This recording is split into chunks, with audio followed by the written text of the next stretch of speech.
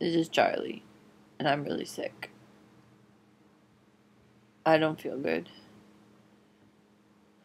at all. And that's why I haven't called you.